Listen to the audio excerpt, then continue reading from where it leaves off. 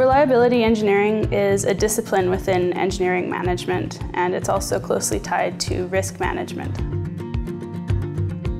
We not only look at uh, the technical side of problems, but we also bring in the economic side of problems. Our group works closely with industry partners, such as large oil and gas companies, but also different levels of governments, so from the city level to the provincial level and even the federal level. And they can actually provide feedback on our research and help direct us to come up with the results that they're looking for in their decision-making processes.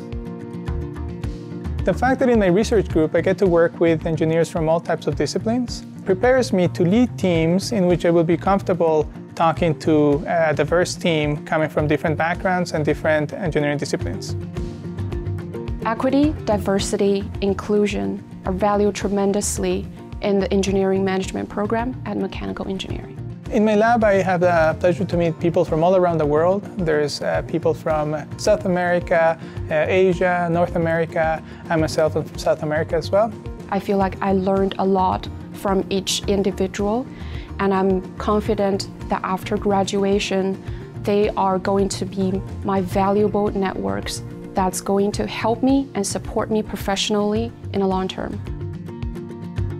The facilities of the Mechanical Engineering Department are the best ones in Western Canada, especially for the radio frequency and high frequency technologies.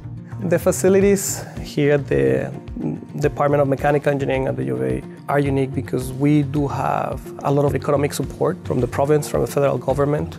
Because of that support, we have facilities that are second to none.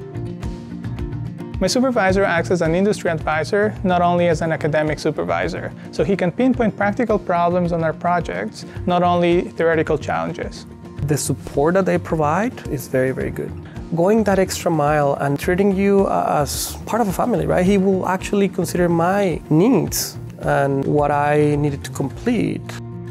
We have great opportunities, scholarships, the opportunity to become a Canadian later, I love what I'm doing. I love what I'm studying. I love this program.